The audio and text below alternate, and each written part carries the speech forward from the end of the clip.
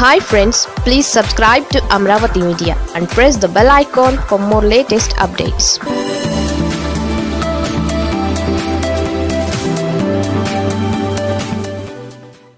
గంటతో ఏమిటి తంట చంద్రబాబు సైలెన్స్ వెనుక ఆయన.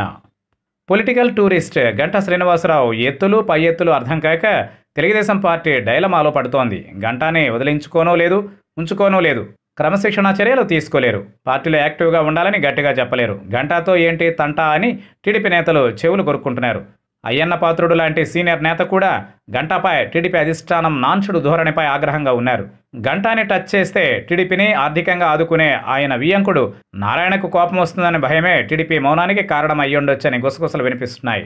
రెండు వేల పంతొమ్మిది ఎన్నికలలో విశాఖ నార్త్ నుంచి టీడీపీ అభ్యర్థిగా పోటీ చేసి గెలిచిన గంటా శ్రీనివాసరావు పార్టీ దారుణ పరాజయం పాలవడంతో అప్పటి నుంచి పార్టీకి అంటి ముట్టనట్లు ఉంటున్నారు.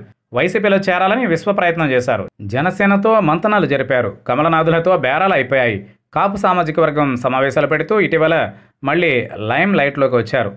తెలుగుదేశం శాసనసభ్యుడిగా ఎన్నికైన నుంచి టీడీపీ కార్యాలయం వైపు కన్నెత్తు కూడా చూడడం లేదు. అధిష్టానం నిర్దేశించిన ఏ కార్యక్రమం చేపట్టరు. పార్టీలు కంటే అధికారం ఎక్కడుంటే అక్కడ గంట ఉంటారని ఆయన రాజకీయ చరిత్ర స్పష్టం చేస్తోంది. తొలిసారి పంతొమ్మిది వందల తొంభై తొమ్మిదిలో అనకాపల్లి నుంచి టీడీపీ ఎంపీగా రెండు వేల నాలుగు ఎన్నికలలో చోడవరం నుంచి ఎమ్మెల్యేగా పోటీ చేసి గెలుపొందారు. రెండు వేల తొమ్మిది ఎన్నికలకు ముందు ప్రజారాజ్యంలో చేరి అనకాపల్లి ఎమ్మెల్యేగా గెలిచారు.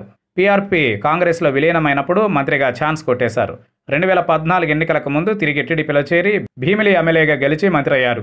అనంతరం రెండు వేల పంతొమ్మిది విశాఖ ఉత్తరం నుంచి టీడీపీ ఎమ్మెల్యేగా గెలిచారు.